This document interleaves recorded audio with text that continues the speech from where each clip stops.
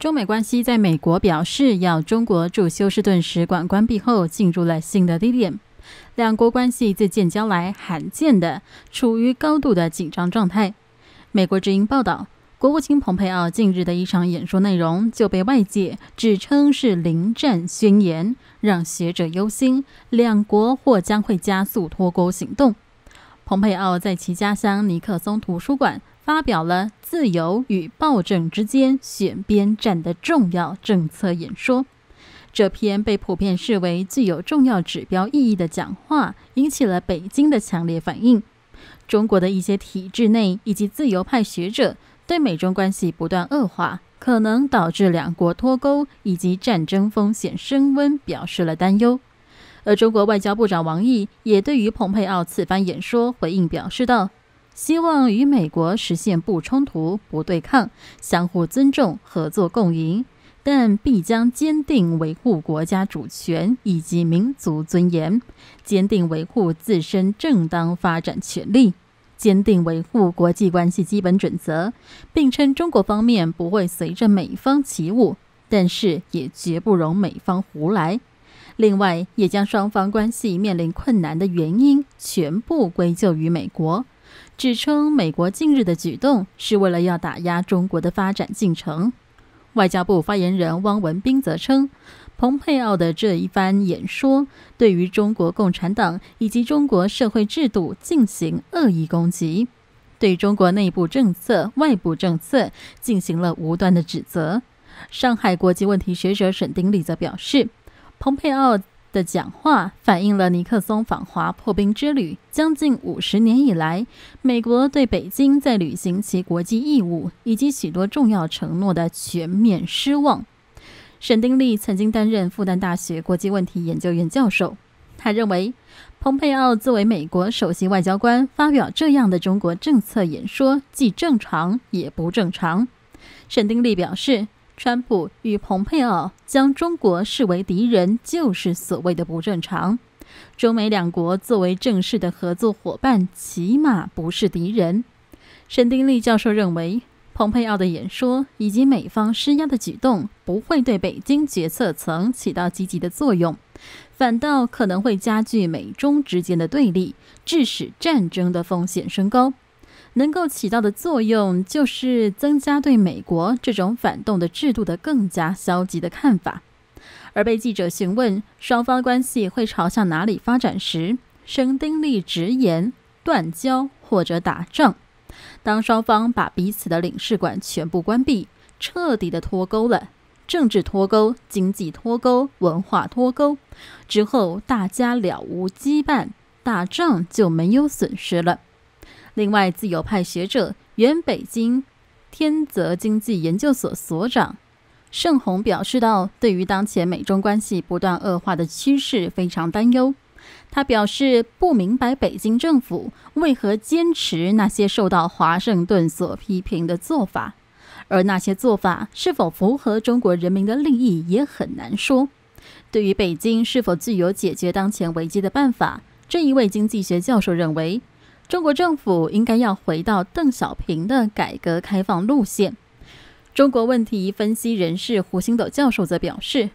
对于中国来说，要深化改革开放，朝着市场化、法治化、国际化的方向进行改革与开放。凡是违背市场化、法治化与国际化的改革，都不是真正的改革，那是反改革。可惜的是，中国近年来出现了一些严重的反改革倾向。而当前最让人感到忧心的，莫过于中美两国的紧张局势是否会从冷战走向热战。在北京的独立评论人士荣建表示，蓬佩奥国务卿的演说对于中共无异于是一个临战宣言。究竟是冷战还是热战，目前还不好确定。但是从冷战走向热战的可能性大幅度增加了。毫无疑问的。美国两党对于中共的态度和立场基本趋于一致，即使下一届总统大选出现了政党轮替，民主党政府对于中共所制造的压力绝对不会比共和党要轻。问题在于，在美国所施加的巨大压力之下，中国是否会调整目前的内外政策？也就是说，是否会按照川普政府所期待的那样，至少能够回到邓小平的路线上来？但是荣建认为可能性并不大。中共已经基本上丧失了纠错以及调整的机制。或许在部分的领域，北京执政者会有进行让步的可能性，比如南海问题，因为中共根本没有做好和美国进行一场热战的物资以及精神准备。撤出理由可以非常冠冕堂皇，为了南海和平。不过理所当然的，如果真的这么做，中共及其领导人的信誉也会面临到极大的挑战。从上述多位学者的观点来看，自中国驻休斯顿领事馆关闭到蓬佩奥的对外演说中，都能窥见中美关系的未来让人感到忧心。而美国大选将至，候选人都释放出了强烈的排中讯息。只怕两国局势会走向更糟的冲突地步。香港经济日报综合中国官媒环球时报报道，中美之间开始互相的关闭对方领事馆，使得两国的关系降到冰点。外交学院国际关系研究所教授李海东认为，川普应对十一月的总统大选策略已经日渐清晰，也就是通过制造美国国内分裂以及国际对抗以争取支持。这代表着他可能因国内选情的变化，采取不同程度的措施，其中包括了挑起军事争端以及冲突，以拉高支持率。在此背景之下，未来三个月将成为中美关系最具有挑战的时期，也可能会出现高度不可预测性的事件。事实上，出于选举的需要。川普政府已经提前的采取突破底线的措施。中国外交学界原本判断，至大选前，也就是九月到十月，美国才会对中国采取底线试探。但由于川普的支持率太低，需要提前进入决战阶段，否则就会提前出局。因此，美国毫无预警的突然勒令中国关闭驻休斯顿总领馆。显示出美国已经提前对中国采取底线策略。中美关系在大选前的这三个月面临着高度不确定性，可能出现更多令人意想不到的突发事件。对于互相关闭领馆，有外交学者表示，这当然是外交关系紧张升级的表现。但是从历史上来看，如果是孤立事件，影响是相对有限的。例如，俄罗斯二零一七年也被勒令关闭了驻三藩市领事馆。从两国的关系以及市场反应来看，都没有产生严重的影响。相反的，真正的决定性事件是二零一四年四月的金融制裁以及二零一八年的能源国企制裁。因此，如果本次的事件是作为美国全面收紧对中战略中的关键一环，则可能会产生骨牌效应。蓬佩奥就发表了针对中共的演说，正在加大这一个猜测的可能性，而这无疑挑动了中国绝不可撼动的政治底线，将中美之间的战争状态从经济、科技、金融引向了政治，因此被外界视为开启新一场冷战的新铁幕演说。美国若对中国采取政治遏制战略，则很有可能将双方导向军事摊牌的结局。未来三个月，中美双方可能产生的高风险冲突点有三项：第一项，在台湾以及南海问题以及朝鲜半岛问题上，双方可能会产生直接的军事擦枪走火。从目前频繁的台海行动上就能够看到，双方似乎都已经做好准备，等待对方先打响第一枪。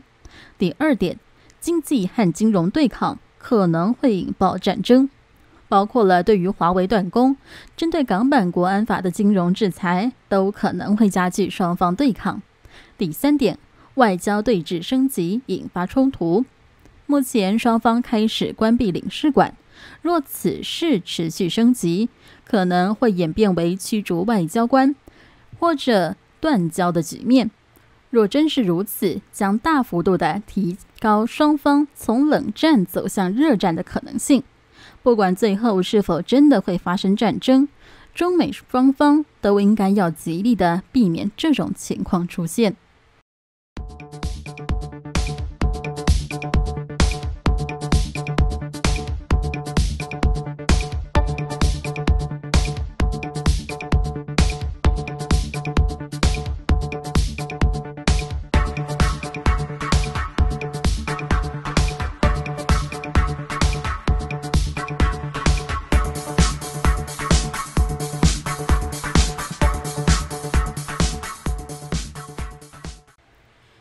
为中共所承诺的脱贫攻坚的关键年份，但是遭逢中国经济下行以及全球工位危机的影响，今年两会甚至是没有定出明确的经济发展目标，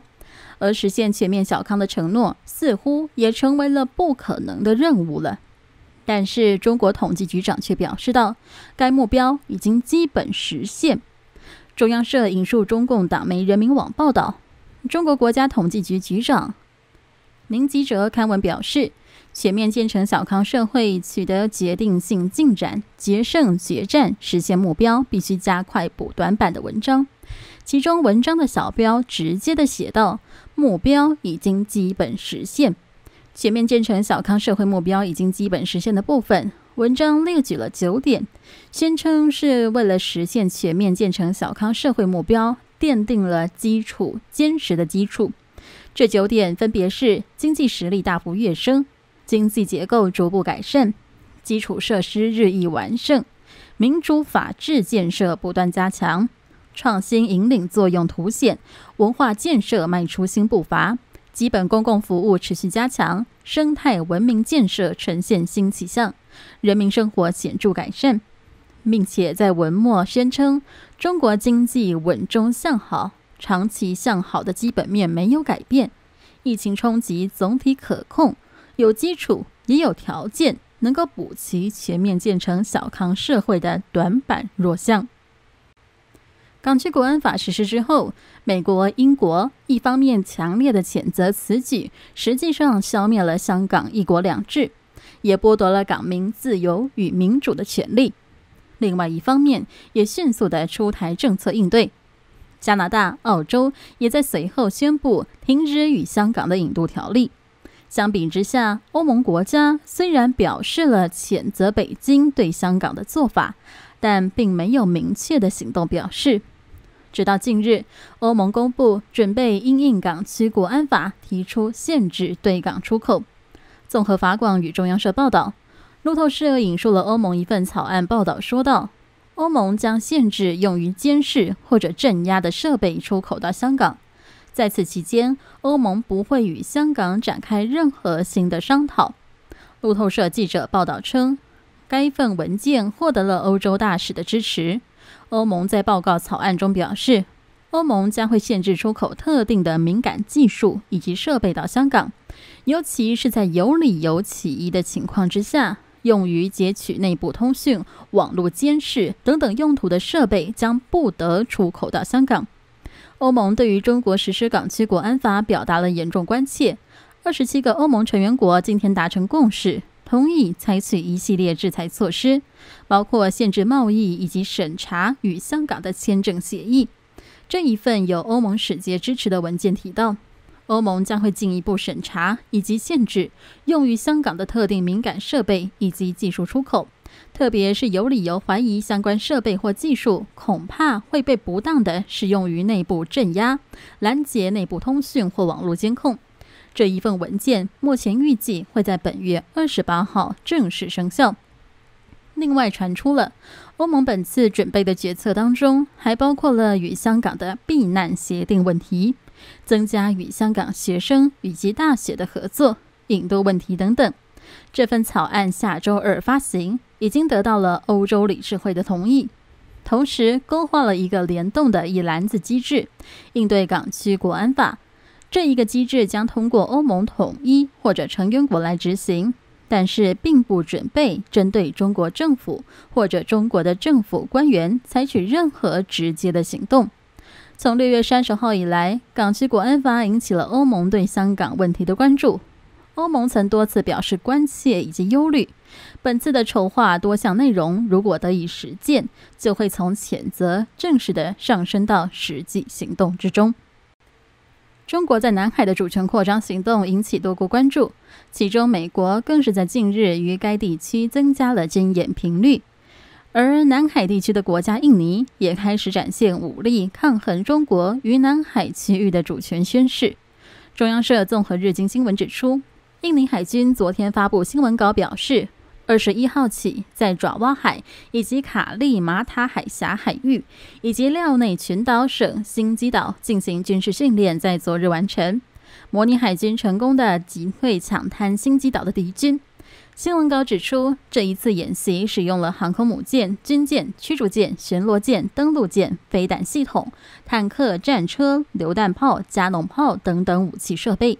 参与人员包括了海军陆战队、海下搜救人员等等海军的各单位士兵。空军也出动了多种直升机参与训练。日经亚洲评论今天报道指出，印尼借由展示武力。强化印尼防卫纳土纳群岛以及其海域的战略能力，抗衡中国对于南海主权的宣示。印尼历年来已经多次的公开强调，中国以九段线宣称南海海域主权，违反了联合国海洋法公约。今年五月份，印尼再度的致函联合国秘书长古特瑞斯，重申印尼不受制于中国的九段线。今年六月份，印尼明确的拒绝中国要求就重叠海域协商的想法，指称该海域是印尼主权，没有协商的必要。本次军演更是明确的回应中国方面的南海主张。南海紧张局势持续升温，近日澳洲、日本、美国以及印度在该地区进行军事演习，向中国较正的意味十分浓厚，而澳洲。明确的表示出反对中国对于南海的主权主张。中央社综合法新社报道，澳洲在提交给联合国的一项正式声明中，明确表示拒绝北京对于南海领土以及海事的主权主张。在美中纷争升高之际，与华府更加紧密结盟。澳洲在二十三号提交的声明中指出，中国在南海的多个争议主张没有法律依据。包括了与小型浅滩以及礁石上人造岛建设有关的部分。这项声明表示，澳洲拒绝中国对于南海的历史权利或者海事权利，以及中国对于南海的利益建立在长期历史实践的主张。